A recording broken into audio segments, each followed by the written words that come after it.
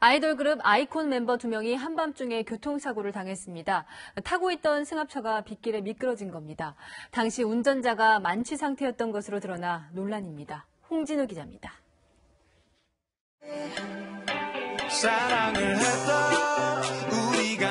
아이콘의 멤버 김진아, 구준혜 씨가 교통사고를 당한 건 어제 새벽 3시 40분쯤 승합차를 타고 경남 남해에 있는 숙소로 이동하던 중이었습니다. 당시 남해 지역엔 많은 비가 내리고 있었습니다.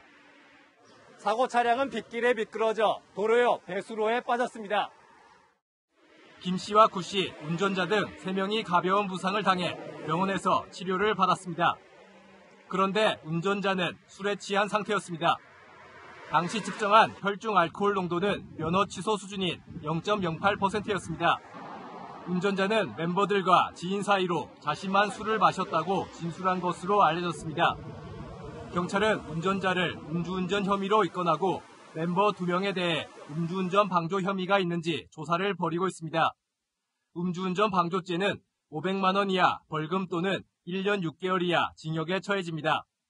그 차량에 동승했다는 것만으로 방조 혐의 입증을 하기는 어렵고 도움을 주는 그런 행위가 명확하게 나와야 되기 때문에 소속사인 YG 엔터테인먼트는 사고 하루 만에 입장문을 냈습니다. 음주운전에 엄격한 규정을 두고 있는데도 사고가 발생해 엄중한 책임감을 느낀다며 내부 조사를 통해 조치를 하겠다고 밝혔습니다. 아이콘은 지난해 리더 BI가 마약 논란으로 탈퇴한 후 6인조로 재편해 활동 재개를 준비하고 있었지만 다시 한번 구설수에 휘말리게 됐습니다. 채널A 뉴스 홍진우입니다.